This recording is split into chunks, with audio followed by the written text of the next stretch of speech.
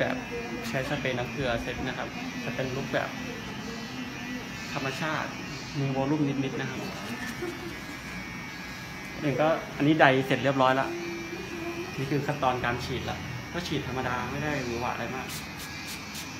ฉีดได้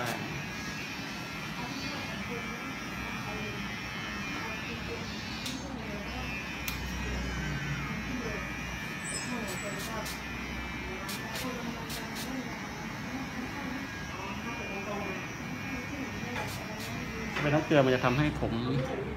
มีความแน่นขึ้น ทำให้ผมมีวอลลุ่มหน่อยๆตอนที่เราไดแล้ว